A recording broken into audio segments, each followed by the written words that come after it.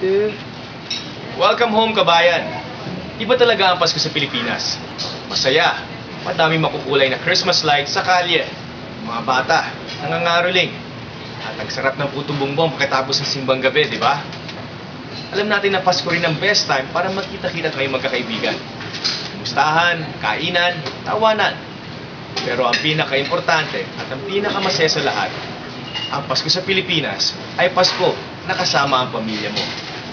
Bilang dating OFW, alam ko ang sakripisyo mo sa ibang bansa. Mahirap ang malayo sa pamilya. Malungkot, pero kailangan mo magtrabaho.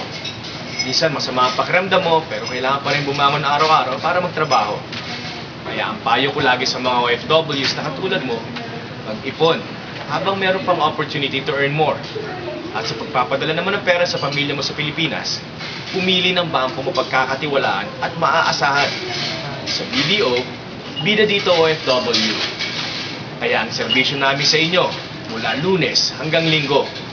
At dahil bida ka sa BDO at SM, ang araw na ito ay handog namin sa iyo. Meron tayong Filipino salo-salo sa food court, entertainment show at mga exciting na premyo na sigurado may enjoy nyo at ng inyong pamilya. Hangad ng BDO at SM na patuloy kayong mapagsilbihan at mapasaya sa pamamagitan ng aming serbisyo.